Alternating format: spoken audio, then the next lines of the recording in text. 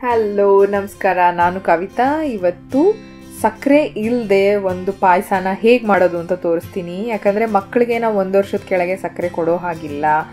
ಯಾವುದೇ ತರಹದ ಬೆಲ್ಲ ಕೂಡ ಕೊಡೋ ಹಾಗಿಲ್ಲ. ಮತ್ತು ದೊಡ್ಡವ್ರಿಗೆ ಈಗ ಅನ್ಫಾರ್ಚುನೇಟ್ಲಿ ಮನೆಯಲ್ಲಿ ಡಯಾಬಿಟಿಕ್ ಪೇಷಂಟ್ ಇದ್ದಾರೆ ಅಂದರೆ ಅವ್ರು ಯಾಕೆ ಸಿಹಿಯಿಂದ ವಂಚಿತರಾಗಿರಬೇಕು? ಅನ್ಯಾಚುರಲ್ ಶುಗರ್ ಅವ್ರಿಗೆ ತುಂಬ ಹಾನಿ ಮಾಡುತ್ತೆ. ಅಪರೂಪಕ್ಕೆ ಈ ಥರ ನ್ಯಾಚುರಲ್ ಶುಗರ್ ಯೂಸ್ ಮಾಡಿ ಮಾಡಿ ಕೊಟ್ಟರೆ ಅವ್ರಿಗೇನು ತೊಂದರೆ ಆಗೋದಿಲ್ಲ. ಸೊ ಏನಿದು ನ್ಯಾಚುರಲ್ ಶುಗರ್, ಇದನ್ನು ಹೆಂಗೆ ಮಾಡೋದು ಅಂತ ನೋಡೋಣ ಬನ್ನಿ. ಮೊದಲು ಒಂದು ಪ್ಯಾನ್ ತೊಗೊಂಡು ಅದಕ್ಕೆ ತುಪ್ಪ ಅಥವಾ ಬೆಣ್ಣೆನ ಹಾಕಿ, ಮತ್ತೆ ನೆನೆಸಿಟ್ಕೊಂಡಿರೋ ಸಬ್ಬಕ್ಕಿ ಹಾಕ್ತಿದ್ದೀನಿ ನಾನಿಲ್ಲಿ. ಇವೆರಡನ್ನು ನೀಟಾಗಿ ಮಿಕ್ಸ್ ಮಾಡ್ಕೊಳ್ಳಿ.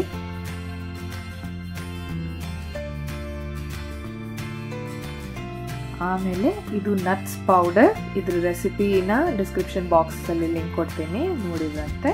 ಮತ್ತೆ ಇದು ಮನೇಲೆ ಮಾಡಿರೋ ಅಂಥ ಖರ್ಜೂರದ ಪುಡಿ. ಇದೇನೇ ನಮಗೆ ಸ್ವೀಟ್ನೆಸ್ ಕೊಡೋದು, ಇದನ್ನು ಹೇಗೆ ಮಾಡೋದು ಅಂತ ಕೆಳಗಡೆ ಡಿಸ್ಕ್ರಿಪ್ಷನ್ ಬಾಕ್ಸಲ್ಲಿ ಲಿಂಕ್ ಇದೆ, ನೋಡಿ ನೀವು.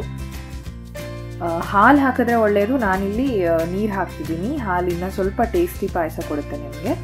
ಸೊ ಚೆನ್ನಾಗಿ ಮಿಕ್ಸ್ ಮಾಡಿ ಒಂದು ಮೀಡಿಯಮ್ ಫ್ಲೇಮಲ್ಲಿ ಐದರಿಂದ ಹತ್ತು ನಿಮಿಷ ಬೇಯ್ಬೋದು. ನೀವು ಎಷ್ಟೊತ್ತು ನೆನೆಸಿದ್ರಿ, ಎಷ್ಟು ದಪ್ಪ ಸಬ್ಬಕ್ಕಿ ಇದೆ, ಅದ್ರ ಮೇಲೆ ಡಿಪೆಂಡ್ ಆಗುತ್ತೆ.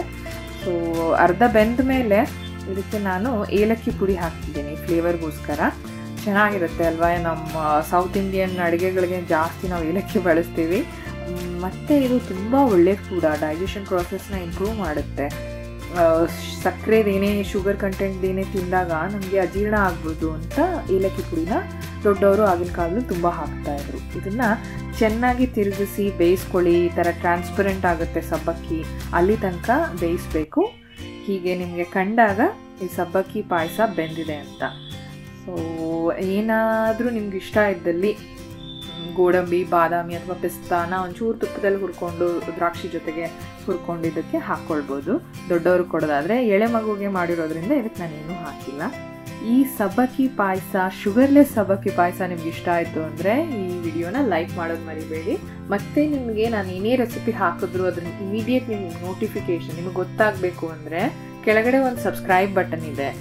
ಅದನ್ನು ಒತ್ತಿ ಅದರ ಪಕ್ಕದಲ್ಲಿ ಈ ಥರ ಬೆಲ್ ಐಕನ್ ಇದೆ. ಅವೆರಡನ್ನೂ ಒತ್ತಿದಾಗ ನಾ ಏನೇ ರೆಸಿಪಿ ಹಾಕಿದ್ರು ಠಕ್ ಅಂತ ನಿಮ್ಮ ಮೊಬೈಲ್ಗೆ ನೋಟಿಫಿಕೇಶನ್ ಬರುತ್ತೆ. ನೀವು ಅದನ್ನು ನೋಡಿಕೊಂಡು ಮನೇಲಿ ಮಾಡ್ಬೋದು. ನಿಮ್ಮನ್ನ ಮತ್ತೆ ಭೇಟಿ ಮಾಡ್ತೀನಿ. ಇನ್ನೊಂದು ಹೊಚ್ಚ ಹೊಸ ರೆಸಿಪಿಯೊಂದಿಗೆ ಅಲ್ಲಿ ತನಕ ನಮಸ್ಕಾರ. Take care bye